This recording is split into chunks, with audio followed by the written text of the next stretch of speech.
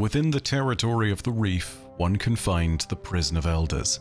This great facility once held prisoners from lowly fallen dregs to twisted taken abominations and even the fallen kell of wolves, Skolas. It was originally staffed by the Awoken and the Eliksni elements that had sworn allegiance to Mara Sov in the aftermath of the Reef Wars.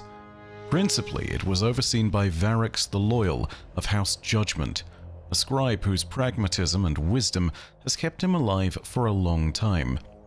Back in Forsaken, it was Variks who set the prisoners loose, including the Scorn Barons that Cayde and Petra had so diligently hunted down.